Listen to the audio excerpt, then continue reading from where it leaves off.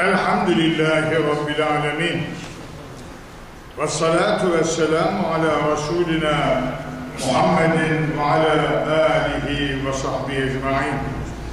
أعوذ بالله من الشيطان الرجيم. بسم الله الرحمن الرحيم. رب اشرح لي صدري ويسر لي أمري. واحلل عقدة من لساني يفقه قولي. صدق الله العظيم. Değerli kardeşlerim, e, benim gittiğim, geçen hafta değil evvelki hafta bıraktığım yer 63. ayet olması. Evet hocam. 62'yi bitirmiş. 63. ayet olmasından doğru bildim yani. Ve oradan başlayalım. Sana sormadım ki epey zaman geçsin de unutabilirsin. Kaydediyor. Ama ben sabah e, aklımda dedim bu olması lazım. Ayeti okuyalım. 63. ayeti. Kul de ya Muhammed men yuneccikum sizi kim kurtarabilir? Min zulümatil bedri vel bahr. Karanın ve denizin karanlıklarından sizi kim kurtarabilir? Ted'unehu telarruan ve hufya. O Allah'a tazarru boyun eğerek ve gizlice dua edersiniz. Leyin encana ve şöyle dersiniz. Eğer bizi kurtarırsan ya Rabbi min hâzihi bu karanlıklardan lenekûnenne mineşşâkirin elbette sana şükredenlerden olacağız diye dua edersiniz. Duanızda tadarru ve gizli duanızda efendim tevazu ve gizli duanızda bu şekilde dua yaparsınız diyor. Allahu Teala e, bu ayeti kerimede ayeti açıklayacağım da e, önemli bir konuyu söyleyerek e, açıklayacağız. Çok ilginçtir. İnsanlar sıkıntı anında bir bela ile karşılaştıkları zaman da Allah'ı hatırlarlar. İnsanlar rahat oldukları zamanda kendilerini müstahni görürler. Allah'a yalvarmazlar, ibadet yapmazlar. İnsanlar yükseldikçe statü bakımından veya zenginlik bakımından insanlar ilerledikçe Allah'ı unuturlar. Kendilerini müstahni görürler. Yani ihtiyaç sahibi. Ne oldu Mustafa Bey? Ee, miş gibi görürler. Ve ama sıkıntı anında ise insan Allah'a sarılır. İşte bu genel bir kanun. İnsan psikolojisinin, insanın maneviyatının en önemli kanunlarından biri budur.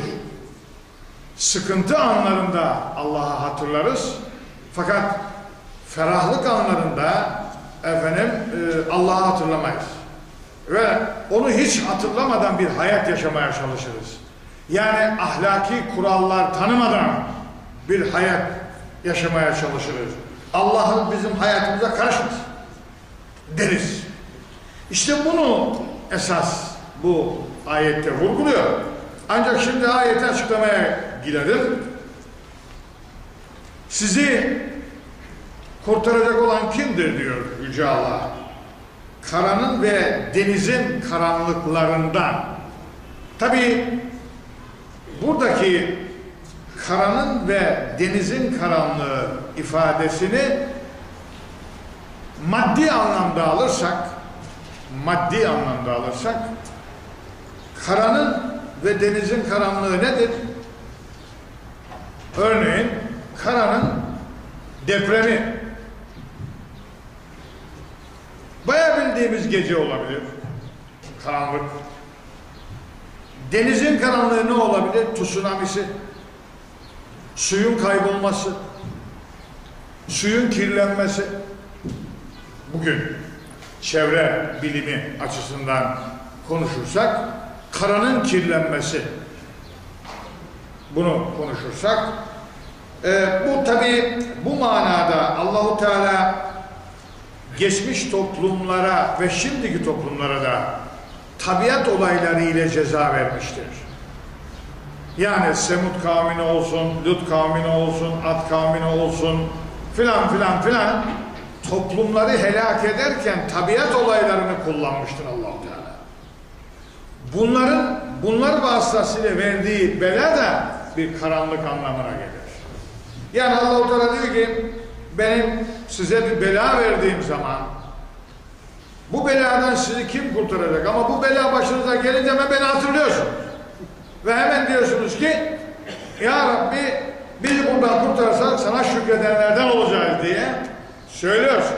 Öyle dua ediyorsun. Fakat buradaki kara ber dediğimiz vel bah deniz dediğimiz şey kara madde madde alemini denizde manevi alemi ifade eder. Böyle bir mana yüklememiz mümkündür. Mesela Rum suresinin 41. ayetinde olduğu gibi Zaharal fesadu fil berri vel bahr Denizde ve karada fesat, bozuşma başladı diyor Allahu Teala. Zuhur etti. Oradaki maddi anlamda karanın ve denizin kirlenmesi, fesat efendim dediği olacağı gibi maddi ve manevi alemde bozuşma başladı anlamına da gelir. Yani e, manevi alem dediğimiz zaman da fikir alanında, iman alanında, inanç alanında bozuşma başladı. Burada fesat, bu bir karanlıktır. Cehaletin karanlığı mesela. Anladınız mı? Nefsin karanlığı mesela. Bunlar bunlar manevi karanlıklardır. O manevi karanlıklardan sizi kim kurtaracak? O bela geldiği zaman. Yani düşünebiliyor musunuz? Bir ailede baba efendim müftü oğlu kafir. Büyük bir beladır. Hazreti Nuh'u düşünün. Hazreti Nuh peygamber oğlu kafir. Mesela, bu dehşet bir şey yani. Bunu ancak tufan patlar dedi Allah. Allah Hazreti Nuh'tan oğlunu ayırdı. Öldür, boğdu. Bunu ancak tufan patlar.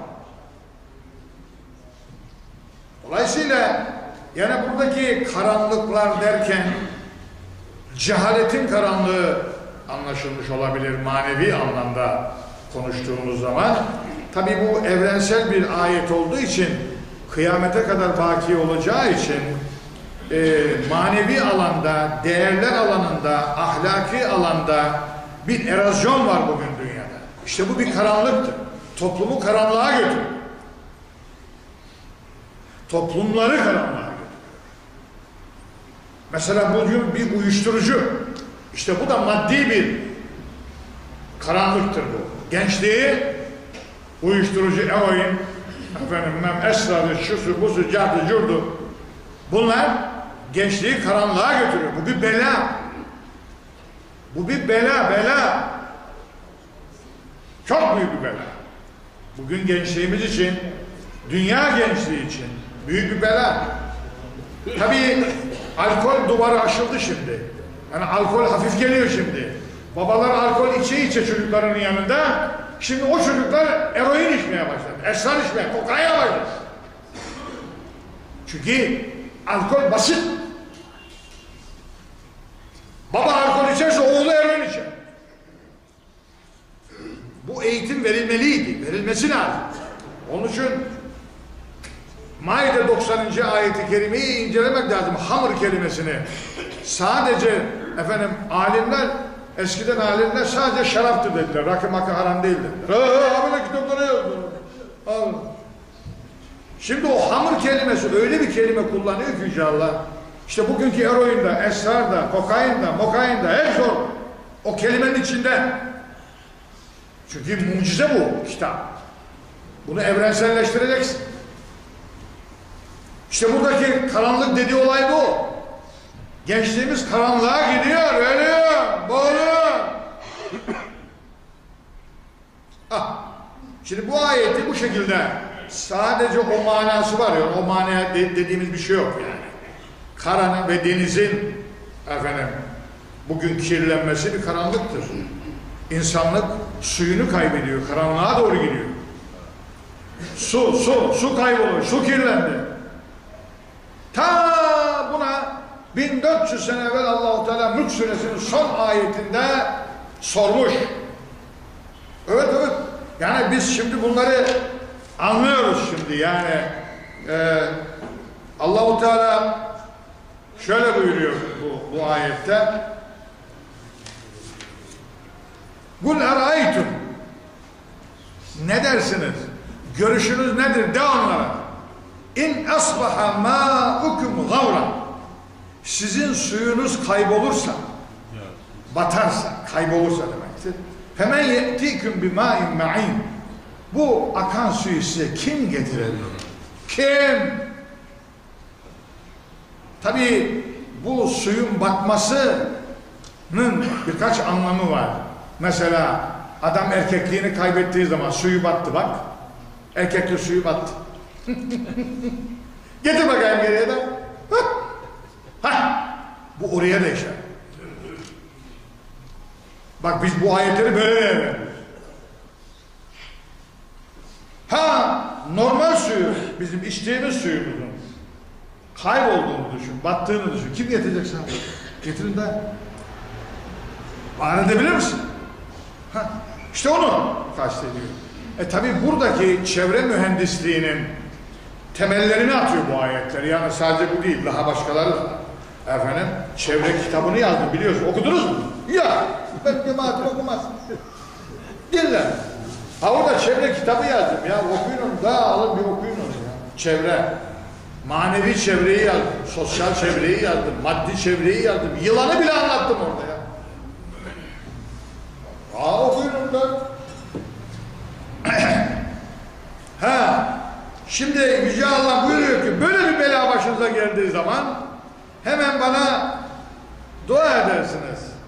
Bizi bu beladan kurtarırsan ya Rabbi bu karanlıklardan sana şükredenlerden olacağım. Olacağız dersin. Aslında tabi böyle dersinizden kasıt böyle deyin demektir. Böyle dua edin bana demektir. Ee, bir zamanlar havadan gidiyordum. Ne zaman belayı gördün hemen yöneldin bana değil mi? Tazarru ve gizli bir şekilde boyunu emiş bir halde gelirsin benim huzurumda dua ediyorsun. Yalvarıyorsun. Ama o pislikler meydana çıkana kadar neredeydin? O zaman bana hiç iman ettiğin yok idi. Hiç ben akla gelmiyordum ha. Şimdi tabii anladın o pislikler seni sardı. Ha? Efendim görüyorsun ne olduğunu. Efendim devam ediyor Allah-u Teala. Kul de onlara gene. Yukarıda sorduğu ayetteki soruyu 53. 63. ayette sorduğu soruyu 64'te Allah kendisi cevaplandırıyor. Onlar bilemezler. Sen cevap ver. Kulillahu yuneccikum minha. Oradan sizi Allah kurtarır. Onu yapacak olan o karanlıklardan, o belalardan efendim sizi kurtaracak olan Allah'tır. Cehaletin karanlığından nasıl kurtarıyor bunu gönderiyor. Cehaletin karanlığından bununla kurtarıyor. Efendim öte taraftan Felak suresinde buyuruyor ki Kul auzu rabbil felak min şerri ma halak ve min şerri hasifin idâ vekab ve min şerri nefâtâti fil ugad ve min şerri hasidin idâ hased. Orada da bütün belalardan bana sığınacaksın ben kurtaracağım seni diyor allah Teala. Yaratıkların şerrinden, karanlığın şerrinden, zifiri karanlığın şerrinden, insanların kafalarına, gönüllerine yanlış bilgileri üfürenleri, bilgileri kafaları, gençliğin gönüllerini düğünleyen insanların şerrinden, haset edenin, hasedenin şerrinden bana sığın. E orada da kurtaracak olan Allah. Ve min külli kevrin her beladan, her pislikten, her düzenden, her entrikadan sümme entum tüşrikün. Sonra siz şirk koşuyorsunuz. Baba baba baba. Yalvarıyorsunuz. Kurtarıyorum sizi. Sonra bana gene şirk koşuyorsunuz. Rahata kavuşunca rahata kavuşunca şirke sapıyorsunuz. Ama belanın içinde olunca bana hep yalvarıyorsunuz. Belada Allah'ın, Allah'ınızın beni hatırlıyorsunuz belada ama beladan kurtulunca ya koşuyorsunuz. Bunu İsra suresinde bir defa daha söylemiştim size. Orada da Allahu Teala söylüyor bu konuyu, gündeme getiriyor. Çünkü insan psikolojisi çok çok değişken bir psikolojiye sahibiz. Çok. Yani yerinde durmayan. Ve izâ messekumul lurru size bir sıkıntı dokunduğu zaman fil behri denizde dalle men ted'ûne illa iyyâh benden başka tapındığınız tanrılar yok olup gider gözünüzün önünde. İlla iyyâh sadece ben kalırım. Felemma neccâküm sizi kurtardığım zaman ilel berri karaya çıkardığım zaman e'raltum yüz çevirirsiniz. Ve kânel insanı kefura. Bu insanoğlu ne kadar nankördür ya. Ay, ay demek. Nankörlük akıyor sizden. Nankörlük. Sıkıntı anında bir tek ben kalırım. Sıkıntı gidince tanrılar çoğalır. Böyle nankörlük olur mu diyorlar. Ama bu insanoğlu çok nankördür. Yani şimdi olay şu, burada insan davranışlarının, insan psikolojisinin analizini yapıyor Allah-u Teala. Analizi biliyorsun değil mi? Demiştim size. Açıklamasını yapıyor. Analyze yumuşatmak anlamına gelir. Ekmeği yumuşatmak dedim size. Hatırlayın benim anam bunu kullanırdı. Bu kelimeyi benim anam köyde kullanırdı. Oğlum yarın yaylaya gideceğiz çarıkları analize koydu. Analiz, rubya, ya şeydir yani. Ee, yani bütün dillerde var da efendim bunun kökü şeydir. Neydi ya? Latince. Ne? Latince. Latince. Latince. Muhteşem bir açılım yapıyor burada. Yani bize insanı tanıtıyor. İnsanı tanıma, insan denen kitabı anlatıyor. İnsan bir kitaptır. Bu kitabı anlatıyor. Ne var burada? Bir de bana nankörlük var ya. Bunu bil. İnsan özelliklerinden bir tanesi nankörlük. Bunu ailede görürsün. Yazıyorum onu şimdi. Şimdi yazıyorum. Bunu ailede görürsün. Bunu siyasette görürsün. Bunu ekonomide görürsün. 30 sene, 40 sene hizmet ederse karın, ondan sonra at onu dışarı. Bitti. İkinci karı gelir. Öyle değil mi? Yalan değil. Yalan. Ha. Bu nankörlüktür. Ve 30 seneyi inkar ediyorsun da kardeşim. Ben keyfime bakarım efendim. Senin 30 sene hizmetin beni hiç enteres etmez. İnsanoğlu böyle diyor. Evet. Nankörlük çok kötü bir olay. Yani e, siyaseti de tahrip ediyor. Çirkinleştiriyor. Kirletiyor. Ekonomik hayatı da kirletiyor. Adam yediği kaba tükürüyor. Olmaz. Efendim. Bizim, hocalar da işte onun için nankörlük. Kur'an'da o kadar anlatır ki Allah kendisini koyar. Nankörlüğü anlatırken hep kendini örnek verir. Bak burada örnek, onu örnek veriyor. Orada onu örnek veriyor. Daha var birçok. Yani diyor ki Allah bize ya bu insanoğlu Allah'ına nankörlük ediyor da sana etmişler ne oldu? Bu bizi teselli ediyor. Bu anne babalara çocukların yaptığı nankörlüğü düşünün. Benim talebem bana yaptığı nankörlüğü düşünün. Bu ayetler olmasa ben insan çıldırır ya. Çıldırır ya. İnanın. De onlara bir daha ya Muhammed. Dersi ver. Ders devam et. Kul de. Huvel kadiru. O Allah kudret sahibidir. Kadirdir. Her şeyi kadirdir. Ala en yeb'at aleykum adaben min fevkikum ev min tahti erculikum. O Allah size azabı ayaklarınızın altından ve üstünüzünden göndermeye kadirdir. Yani böyle nankörlük yapmayın. Hemen ayağınızın altından korun sabunu, hem yukarıdan azabı gönderirim. Ev yelbiseküm şian yahut size ayrılığın elbisesini giydirir. Aman Allah! Ayrılığın, bölünmenin, parçalanmanın, gruplaşmanın şia kelimesi grup anlamına gelir. Yelbise de karıştırmak anlamına gelir. Sizi ihtilafa düşürürüm. Aslında bunun tam manası size ayrılık elbisesini giydiriyor. Aynı bugün anlat. Bugünü, bugünü. Bu ayet yeni geldi. Oraya yeni Hazreti Peygamber'e getireceğim buraya. Yudîgâ ba'lakum be'se ba'd. Birbirinize de birbirinizin sıkıntısını tattırırım. Kavga ettiririm sizi.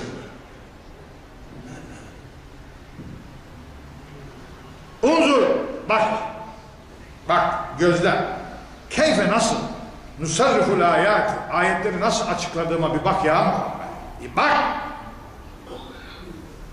Leallehum yafkahun. Niye açıklıyorum bunları biliyor musun ya? Umulur ki onlar anlarlar. Anlasınlar diye bunu ya. Benim hedefim onların anlaması. Bak bak. bak. Dersin amacını da söylüyorum. Ders veriyorum ama diyor Allah-u Teala. Amacım benim insanın anlamasıdır. Muhteşem bir şey. Yani din eğitiminin, ilahi eğitimin amacı şu aklı açmaktır. Beyni, beyni, gönlü. Bize, bize söylüyor yani. Hocalar ders verirken ister üniversitedeki hoca olsun, ister buradaki hoca olsun. Beyni açacak, beyni, anlayışı harekete geçirecek. Anlayışı, anlayışı.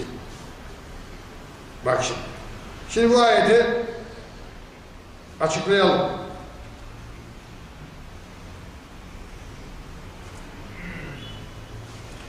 Şimdi beni onlara bir tanıt. Bir tanıt. Ne? Huvel kadir. Ben kadir. De onlara ki o Allah kadirdir, gücü yetendir. Gücü yeten, kadir. Kadir gecesi de bundan gelir. Bak kadir. Kadir, kanun demek. Kanun gecesi, kadir gecesi. Kadir de burada gücü yetmek anlamına geliyor. Kadir, kadir. Abdülkadir deriz ya, Abdülkadir. Kadir'in oğlu. Gücü yeten Allah'ın kulu demek. Oğlu derim pardon. Allah. Kulu demek. De ki o Allah gücü yetendir.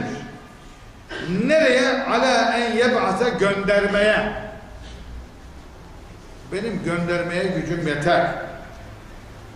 Kime? Aleyküm size. Azaben bir azap.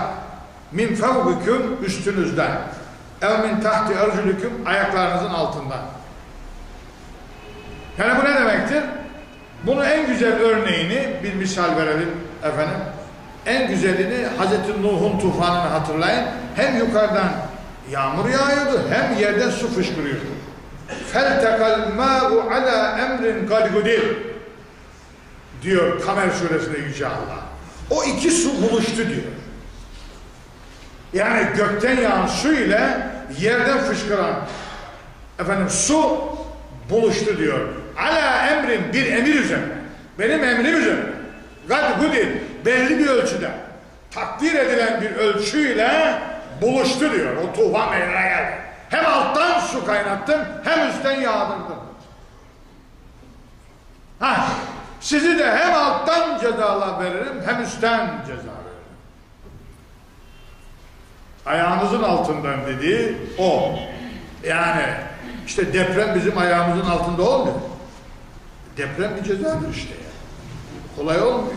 Tamam anladık. Yerin altındaki gazların, mazların harekete geçmesidir efendim, şudur budur falan diyoruz. Doğru. Ama kim emir veriyor ona? Ha emirsiz mi oluyor? Ha o ayrı şey. Öyle bir inanç varsa ona bir şey demiyor. Yani Allah'ın haberi yok ya. Yani.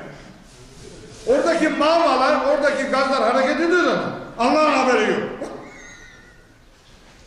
Böyle bir Allah anlayış olur mu? Ha, işte yukarıdan yıldırımlarla, rüzgarlarla diyor batırdım Semut kavmini diyor. Lut kavmini yukarıdan taş yağdırarak batırdım diyor. Mesela. Bu, bu oluyor. Yani bugün de oluyor görüyorsunuz. Yani bir duman çıktı. O da en küçük yanardağmış. Ha öyle söylediler teknik üniversitede profesör. En küçük yanardağ bakın ne kadar kaç gün uçaklar iptal etti. Gitsene. Ben ben gidemedim. Cuma günü kaldım havalimanında. Akşama kadar havalimanında kaldım gidemedim konferansıma Almanya'ya. Buradan oraya sonra telekonferansta yaptık o işi bitirdik. Heh, demek ki gidemiyorsun bak. Bak. Ufak bir yanarda. Tabii üstünüzden altınızdan derken o da farklı bir manada verilebilir. Üstten dediğim beyinden, alttan dediğin nefisten. Nefsini de kaynatırım seni. Yani zaten senin nefsin kaynatıyor bütün depremleri senin nefsin meydana getiriyor. Sen yapmasan o pisliği olmaz. Yani bizim yaptığımız amelleri yeryüzü bile kabul etmiyor. Topraklar kabul etmiyor. Ha. Silkeliyor bizi. Serkeş bir at gibi üzerinden atıyor bizi. Evet. Ben bunu yazdım. O depremi çıktığı gün sabah gazetesinde köşe yazarıydım. Aynen yazdım. Nefsin depremidir. Evet. Bizim öyle amellerimiz var ki, öyle davranışlarımız var ki, öyle haksızlıklarımız var ki, öyle zulmümüz var ki topraklar bile kabul etmiyor. Evet. Ha, böyle bir azap verebilirim diyor. Öyle vermem de şöyle veririm diyor. Bunun da ondan farkı yok diyor. Bu da bir sosyolojik depremdir diyor. Yani ha depremi vermişim ona, yıkmışım oraları, darmar etmişim onu. Ha el elbiseküm şian. Size ayrılığın elbisesini giydiririm o topluma. O toplumu gruplaştırırım. O gruplar girer birbirine. Birbirine bela olurlar diyor. Hırlaşırlar birbirine. Aynen bugünü anlatmıyor mu? Aynen bugünü anlatmıyor mu? Ne muhteşem bir ayet. Sosyolojinin temel kanunu. Burada size ayrılığın elbisesini giydiririm. Şian size ihtilafın, çatışmanın elbisesini giydiririm. Size bir araya gelemeyeceğiniz, anlaşamayacağınız bir ayrılık elbisesi giydiririm. Aman aman aman aman. Bu elbiseyi giydim. Ama elbiseyle dolaşıyorum. Hep elbiseyle dolaşıyorum. O bir mezhepten, o bir mezhepten, o biri bir tarikattan, o biri bilmem cemaatten, o biri bilmem nereden, o biri bilmem nereden. Aman Allah'ım elbiseleri giydik, birbirine kılıçları çektik. Duvar dayadık. Yalan mı? Yalan mı? İşte bunlar için anlatmış bu ayetleri Allah. Yani bu insanlar şu Kur'an'ın peşine gitmezse, şu Kur'an-ı Kerim'i din hayatına egemen kılmazsa, din hayatı söylüyorum bakın, din hayatına bu Kur'an-ı Kerim'i egemen kılmazsan ayrılık elbisesini giydiririm sana diyor. Ben söyledim. Gelsin mana. İhtilafın, çatışmanın, kavganın elbisesini giydirir. Şimdi bu elbiseleri giymekle meşgulüz. Ana biçildi de bunlar, dikildi de şimdi dağıtıyor bu. İşte bu elbiseler biçilmiş, dikilmiş, dağıtıyor. Sen bunu giyeceksin, sen bunu giyeceksin, birbirine vuracaksın. Şeytan, elbiseleri şeytan dikiyor. Ve birbirinize sıkıntınızı, belanızı, derdinizi birbirinize tattırırım diyor. Tattırırım, kavga ettiririm siz diyor. Ha tadıyoruz, kanlar akıyor görüyorsun değil mi? Bu memlekete yetişmiş insanlar bu memlekete mayın döşüyor. Kendi namusunu, vicdanını koruyan askerini öldürüyor. İşte bu. İşte bu. Azap bu. Bu deprem benzer mi öteki depreme? E orada 40 bin kişi öldü diyoruz işte efendim Sakarya depremine, İzmir depremine, hemen Gölcük depreminde. E, Türkiye'de de ki terörizmden dolayı da 40 bin kişi öldü. Ne fark eder? Aynı olmadı mı şimdi? İşte aynı. Fakat orada deprem öldürdü. Burada insan insanı öldürüyor. Kardeşim fark var. Bunlar işte bakın bir bela. Yanlışımızın belasıdır. Sen ekmeği, yemeğini nasıl pişirirsen önüne öyle gelir kardeşim. Sen börek yaptıysan börek gelir, baklava yaptıysan baklava gelir kardeşim. Yemeğini böcekli yaptıysan böcekli gelir önüne senin ya. Yiyemezsin onu. Kendi pişirdiğin yemeği yiyemez. İşte biz eğitim sistemiyle bu insanlara, bu gençliğe Allah'ı anlatmadık. İnsanı öldürmenin ne kadar kötü olduğunu anlatmadık. Gu enfuseküm ve ehliküm ayetine hiç uğramadık. O Tahrim suresinde diye Allah bunu kendinizi ve halkınızı koruyun diyor Allahu Teala. Ne ne koruması? Koruyamadık. Anne babalar aile koruyamadı. Eğitim koruyamıyor. Koruyamıyor efendim, koruyamıyor. Yıllardır bu memlekette felsefe okutuldu. Ateizm okutuldu. Hep İslam'dan kaçıldı. Hep Kur'an'dan kaçıldı. Hep Kur'an bir tarafa atıldı. Allah dinlenmedi. Sen konuşma dendi. Heh, filozoflar konuşuyor da Jean Paul Sartre konuşuyor. Allah ölüdür. God is dead. Bunu oku. Eksistansiyalizmi okut diyor adam. Tamam ben eksistansiyalizmi okuyorum ama heh, benim kafamda Kur'an olduğu için nerede hata yaptığını anlıyorum. O çocuk ne yapacak?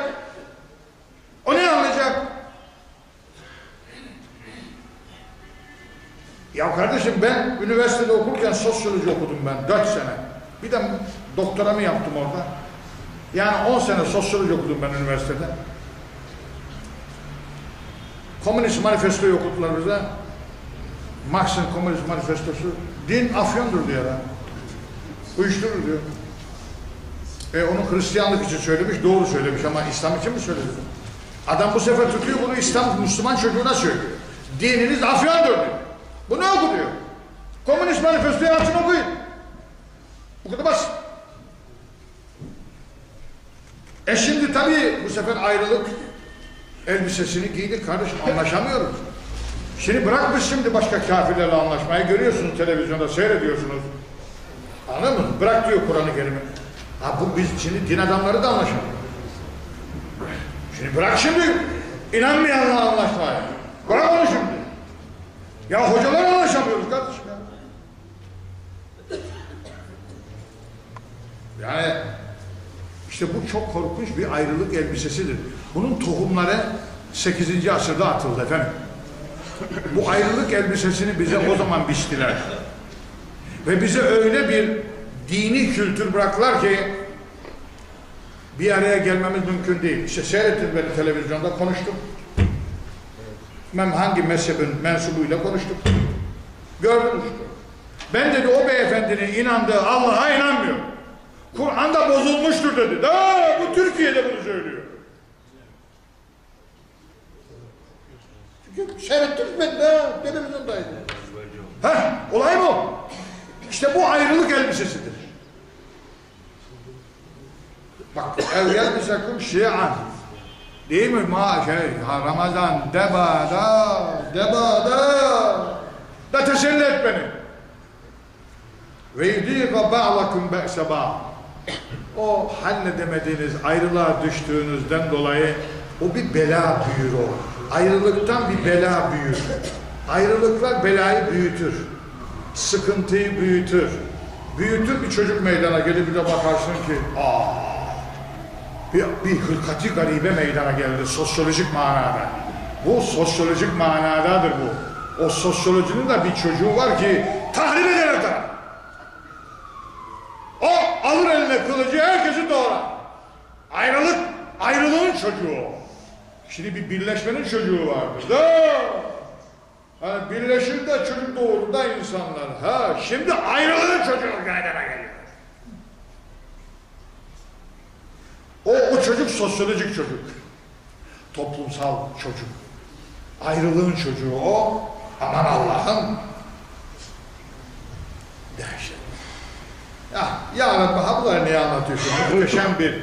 Biraz evvel insan psikolojisinden bahsetti. Şimdi sosyolojiden bahsediyor. Şu bilime bak bak. bak. Fakülteleri kurmuş bu Kur'an-ı Kerim. Fakülteleri kurmuş. Sosyoloji fakültesini kurmuş. Psikolojiyi kurmuş. Kurmuş. Devam ediyor. Ama psikolojik nedenler sosyolojik nedenlere. Determinizm koyuyor burada Allah. Ha dete hoca ben abi doğru konuşsana. Determinizmi e, Anlatayım size. Şimdi aynı şartlar, aynı sebepler, aynı şartlar altında aynı neticeyi doğurur. Buna determinizm derler. Yani Allah-u Teala Kur'an'da diyor ki eski kavimler böyle böyle böyle böyle böyle yaptılar helak ettiler. Siz de öyle öyle yaparsanız siz de helak edin. Aynısı bu. Değişen bir şey yok. Ama benim helakim farklıdır. Kimi zaman deprem, kimi zaman yağmur yağdır, kimi zaman taş yağdırır, kimi zaman da o sosyoloji ayrışmanın çocuğunu dünyaya getirene. Öyle. Öyle. Anlıyor musun? Bu muhteşem bir analiz yapıyor.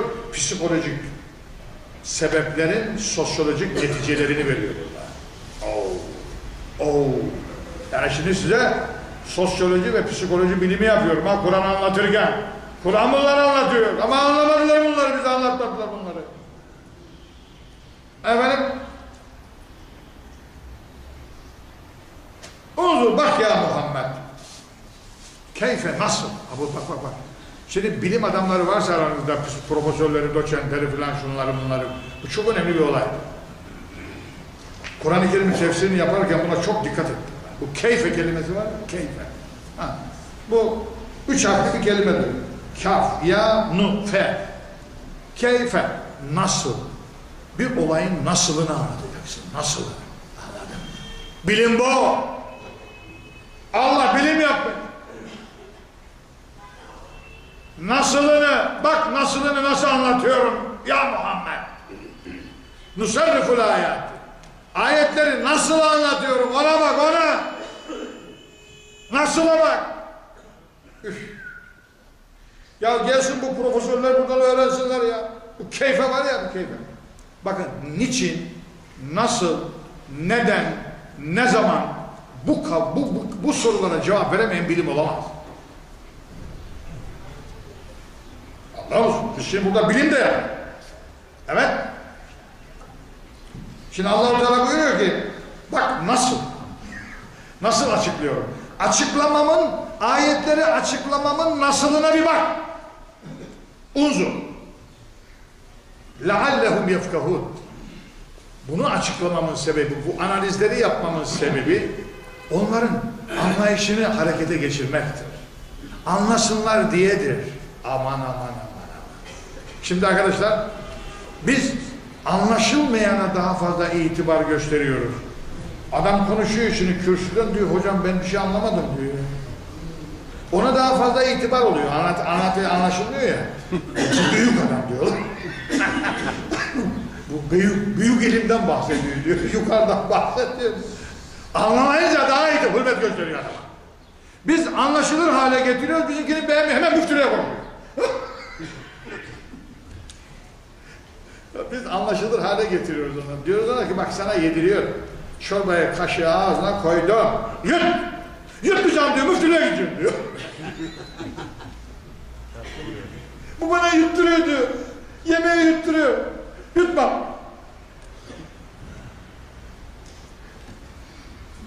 Şimdi hazır aklıma geldi. Size açıklayayım. O e, arkadaşın buradan benim arkamdan tenkit edip dernek şeylerine söylediği lafı e, benim hutbemden dolayı açıklayayım ona. Burada ise açıklayayım burada değilse siz ona anlatırsınız. Ben de tanımıyorum, bilmiyorum. Ben burada bir hutbe okudum. Bu kutlu doğum haftası için hutbe okudum. Hutbeden dedim ki bu Diyanet İşleri Başkanlığı'ndan bu işi yapanlar ve buraya imza koyanlara Allah rahmet eylesin. Siz de amin deyin. O da kalktı dedi ki namaz olmadı. Biz namaz kılmıyoruz, hutbe okuyoruz. Hutbede peygamberimize kalkıp soru sormadılar. Ben bir şey demedim, amin diyeceksin. Siz namaz okurken sen hiç hacca gitmedin mi? Haçta Fatiha'yı bitirince, lallin deyince amin demiyor mu bütün? Çınlamıyor mu Mescid-i Haram? Biz de amin dedik. Amin dedik. Şimdi adam beni tenkit ediyor. Bakın şimdi şu hale bak. 19 yıl hocalık yapıyorum buraya. La gel bana sorsana. Benim arkamda niye dedikodu? Bana akıl verecek adam mısın sen ya? Ben ne yaptım bilmiyorum o hükmede. Yani 63 yaşına gelmiş bir hoca, Bayraktar Hoca. Kur'an hakkında 11 bin sayfa yazmış bir adam. Bilmiyor musun? Peygamberimiz hutbe okurken sen bilmezsin bunları ki bilmesin konuşuyorsun sen. Duymuşsun bir yerde fıkıh kitabına gitmiş ilmi halde bunu öyle demiş. Hayır. Konuşamazsın. Konuşmaman lazım. Konuşsan bile hutbe okurken namaz bozulmaz ki. Biz amin dedik. Peygamberimize kalkıp soru soruyorlar. Hutbe okurken. Kardeş sen bunları bilmezsin. Namaz kılarken böyle dalin diyoruz. Bütün Mescid-i Haram çınlıyor. Amin. Siz de amin diyorsunuz ama içinizden söylüyorsunuz. Yani şimdi Allah aşkına bir insan haddini bilmesi gerekmez mi ya? Ya sen benim 50 yılımı yiyemezsin ki. Ben 50 yıldır bu işle uğraşıyorum ya. Ya sen 50 yılımı yiyemezsin sen ya.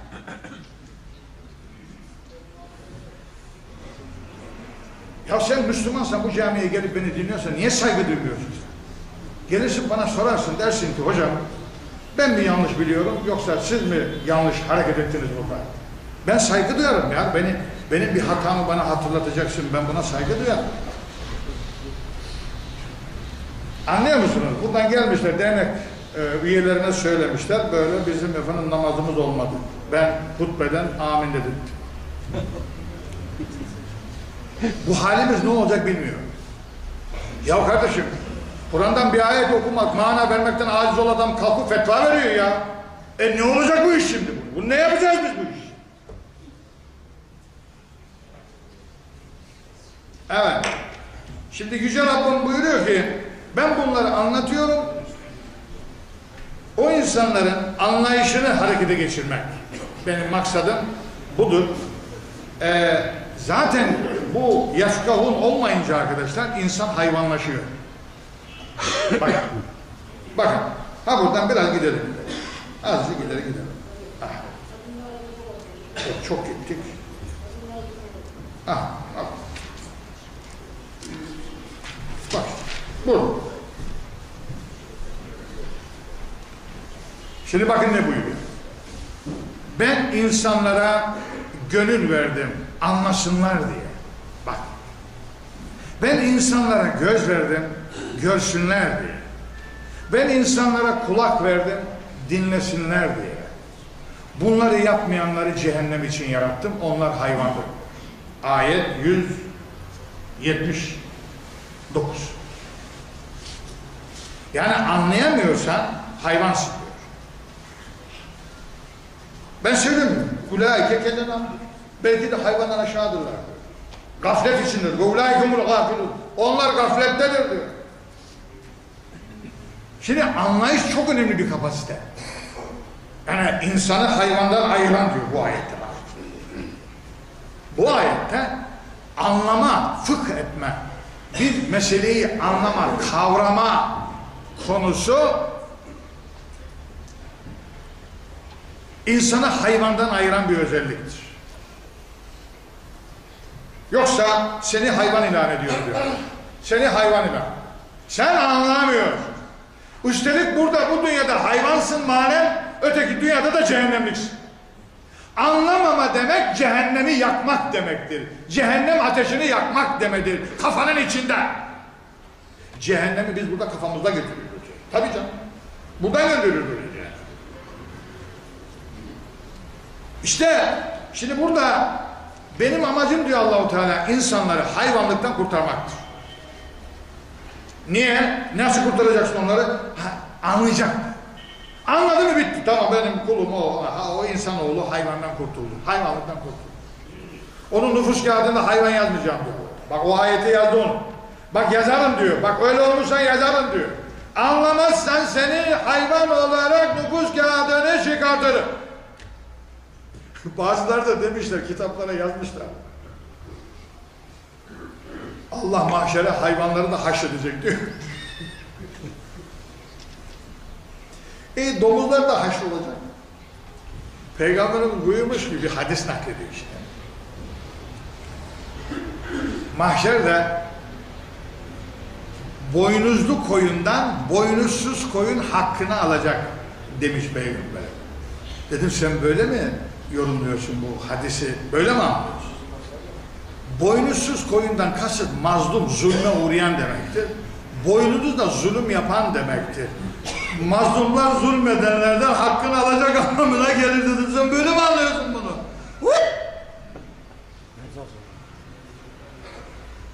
Anlıyor musun şimdi bunlar? Neler oluyor neler? Sen bir, bir bilseniz benim bildiklerim var ya. İnanın hava nefes alamazsın. Benim kalbim katı olduğu için yani nefes alıyorum bu dünyada. Yazılanları bir bilseniz ben nefes alamaz. Cemal Bey nefes alamaz. bir defa. Çünkü Kur'an aşıkları vardır. Onlar bilmiyorlar. Meseleleri bilmiyorlar. Anladın mı? Onlar zannediyor ki bayağı önce anlattığı gibi daha.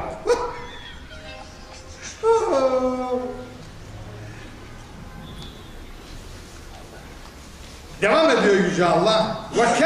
Bihi kavmuke ve huvel hak. Oo, dehşet bir şey. Hak olduğu halde o Kur'an senin kavmin onu inkar etti, yalanladı. Aa. Ve kezzebe yalanladı. Bihi Kur'an'ı. Kavmuke senin kavmin. Ve huvel hak. O hak olduğu halde. Hak olan benim gönderdiğim kitap olmasına rağmen diyor Allah. Onu vahiyle ben gönderdim. Hz. Muhammed yazmadı onu. Benim gönderdiğimse haktır. Haktan başka bir şey olamaz. Ama senin kavmin onu yalanladı. Şimdi tabi bu ayetin bir arkadaşı var. Furkan suresinde. Neredeydi Furkan suresi? Buradaydı. Aha. Hazreti Yüce Peygamberimiz Allah'a döndü yalvardı. Şöyle dedi. Ve gâle Resul. Bak peygamberimizin hadisi bak. Hadis arayanlar gelsin burada burada görsün. Bak. Bak. Bak. Peygamber açtı ellerini Allah'a yalvarıyor. Ve gâle Resulü peygamber dedi bana. Ya Rabbi ey Rabbim. Peygamber ha peygamberimiz döndü Allah'a dedi ki ya Rabbi. Bu hadistir de ayete dönüştürdün Allah. Onu çıkardı levh-i mahfuzdan Cebrail'e verdi. Git bu onu koy. Benim bu kulumun bana yaptığı duayı Kur'an'da koy ayet olarak. Hadis bu bak hadis. Bak görsünler. Bayraktar Hoca hadis kabul etmezmiş. Ya Rabbi dedi. Ey Rabbi inne kavmi ittehadu hadel Kur'an'ı mehcura. Benim bu kavmim Kur'an'ı terk etti ya Ondan hicret etti. Mehcur hicret etmek. Hicret edilmiş. Bıraktı onu. Terk etti onu. Yani hicret ettiğin zaman da bir yeri terk ediyorsun. Bir yere gidiyorsun. Ha Kur'an'ı bıraktılar. Kur'an'dan hicret ettiler. Ya Rabbi dedi. Ne edeceğim bunları? O kadar sıkıştı ki. Bu ayeti kerimeyi söyledi. Burada da aynen benzeri şu. Ve kezzebe bihi kavmuke ve huvel O hak olduğu halde senin kavmin onu yalanladı. Terk etmekle yalanlamak aynı şey. Yani bu ayet kelimeyi bu ayet kelimeye getir ikisi birbirine mana versin birbirini yorumlasın. Sana lüzum yok bize lüzum yok yani yorumlama lüzum yok. Allah kendisi yorumluyor. Yalanlamak ne demekti? Terk edip gitmekti. Terk edip gitmek ne demektir? Yalanlamaktır. Neyim Ramazan? Nasıl? Mana ver, Allah-u Teala mana vereyim. Sana lüzum yok, bize lüzum yok. Benim yaptığım tefsirin büyüklüğü budur işte. Okumuyorsunuz onu. Doğru dürüst bir takım almadınız oradan. Kur'an'la Kur'an'ı tefsir ediyorum arkadaşlar. Kur'an'la Kur'an'ı tefsir ediyorum. Aha bak burada yapıyorum. Canlı canlı görüyorsun. Bak.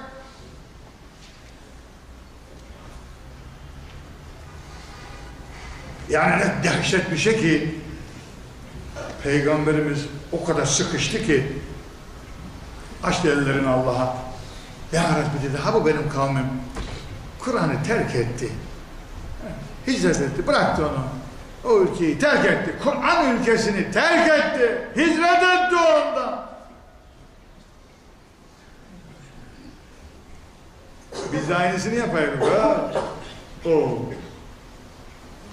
Kul lestu aleyküm bir vekil. De onlara ya Muhammed. Sen onların vekili değilsin. Sen onların avukatı değilsin. Sen onların muhafızı değilsin. Sen onların bekçisi değilsin. Sen onların askeri değilsin. Asker koruyucudur ya onun için.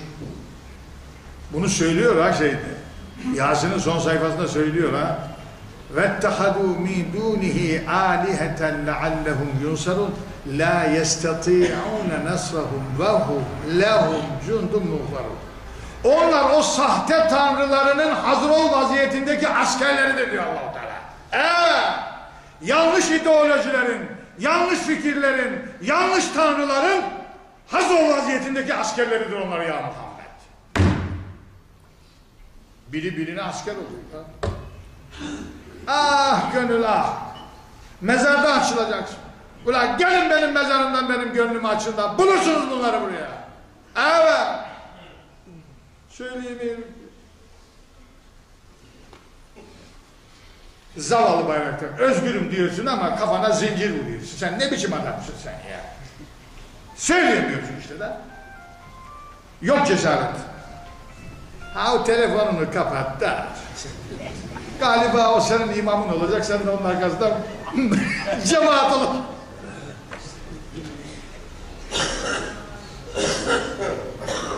Likülli nebeyin müstakar. Fesevfe ta'lemun diyor allah Teala. Likülli nebeyin her haber için her haber için vardır müstakarrun karar kılınan yer. Garraya gurru Arapça öğrenen adam. Hocam biliyor. Bak biliyor. Cemaat uğraşıyor. Hocam isim meful. Ha, yerleşmek anlamına gelir. Meydana gelmek anlamına gelir. Oluşmak anlamına gelir. Her haberin oluşacağı bir yer, bir zaman, bir mekan vardır. Yani olaylar, haberler, olgular demektir burada. Nebe, olgu, olay manasına gelir. Olgu nedir, olay nedir hoca efendi? Bunları bilmeniz lazım bak yoksa doçentliğin diplomaya geri alırım. Yani bir olgu nedir, olay nedir soracak sana taleben mesela ne diyeceksin ha? ha? Olgu tekrarlanamayan olaylar bütünüdür. Mesela İslam'ın doğuşu bir daha tekrarlanamaz.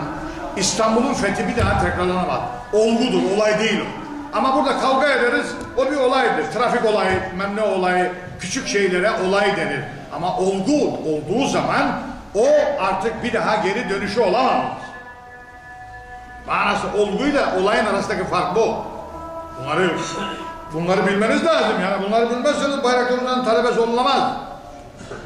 Onun için her olgunun, her haberin karar kıldığı, oluştuğu, çıkacağı bir zaman, bir mekan var. Ben onları planlamışım diyor Allah. Hangi şartlar altında hangi olaylar meydana gelecek? Hangi olgular meydana geleceği belirlenmiştir. Vakti gelince o oluşur o olgu. O olay oluşur. O haber meydana gelir. Hz. Muhammed'e göndereceğim o haber, o Kur'an belli bir zamanı vardı. O zamanda geldi. Ben bu Kur'an-ı Hazreti Adem'e veremezdim. Allah-u Teala demek istiyor. Niye? E bunu nasıl anlayacak, nasıl tatbik edecek? E o zaman da zina yok. O zaman da daha sonra oğlu öldürdü, ölüm olayı oldu. Efendim o zaman da menne yok, şarap yok, şu yok, bu yok. E bu hükümler, bu hükümler orada ne? Ne anlamaz ki adam. Ne demek bu yani? Hırsızlık ne demek? Neden anlayacak bunu Hazreti Adem? Dolayısıyla bir bir kitabı gönderirken, bir vahyi gönderirken onun bir zamanı var. Onun bir mekanı var. Onun bir oluşumu var. O zaman gelir. O zaman olacak. İstanbul'un fethi olgunlaştı, olgunlaştı. Bizans İmparatorluğundaki pislikler, pislikler çok ertti, çok ertti, çok ertti. Geldi dedi ki Fatih Allah-u ha buraya, bitti. Artık Bizans medeniyeti bitti burada. Onun bir vakası var. Ama peygamberimizden sonra sahabe buraya 28 defa gelmiş. O ayrı bir şey. Alamadılar bak olmadı ya. Ebu Eyyub Ensari de olsa alamazsın kardeşim. Çünkü vaka, olay, olgu Doğmadı, doğmuyor. Doğmuyor. Doğacak zamanı var. O haberin doğacak zamanı var. Ve sevfet alemun. Bileceksiniz. Anlayacaksınız bu işi. Anlayın bu işi. Bu ayet dedi. Ve biz burada kalıyoruz. 67. 68'den başlıyor. İnşallah. Bir daha hafta. Efendim bir defa sizin bedduanız mı tuttu ne dedi? O yanardağı patlattınız sizin. Ben cuma günü size buraya gelmişim dedim almaya gidiyorum. Siz mi gidersin almaya? Bak gidemezsin. Kaldın havalimanı. Namazı bile kıldım acaba cuma. O dağ yanarda. Sizin gönlünüz patlattı onu. Anladınız mı? Beni öyle sevenler var. Ha. Yani ha. E birileri bizi tenkit ediyor ama o insanlara hakkımı helal etmek için gelecekler benden helal var. Yoksa öyle ahirete gitmesin. Bu benim gönlümü acıtıyorlar. Acıtıyorlar. Gönül acıtmasının ne olduğunu bilmiyorlar. Gıybetin ne olduğunu bilmiyor. Allahu Teala Kur'an'ı doğru anlayan, doğru anlatan ve doğru tatbik eden kullarından eylesin.